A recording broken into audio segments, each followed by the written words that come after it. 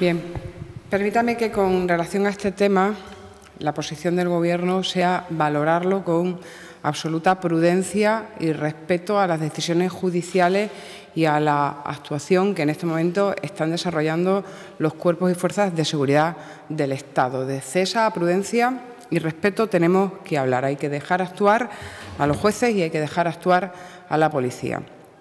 Es cierto eh, que se ha estado en el día de hoy en la Consejería de Fomento y que eh, se ha trasladado a un jefe de sección a Sevilla. El presidente ha solicitado una comparecencia en el Parlamento para la justificación de su labor como senador y se está trabajando en esa justificación.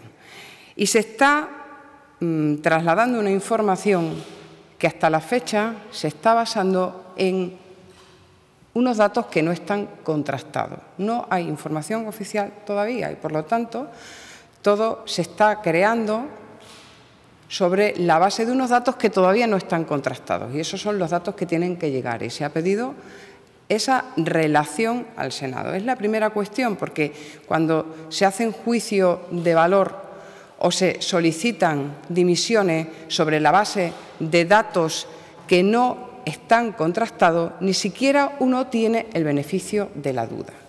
Y al final esas dimisiones, cuando se pone el listón tan alto sobre la base de datos no oficiales, las dimisiones son muy cuestionadas, muy cuestionadas, por no decir que se pueden volver en contra del que las solicita.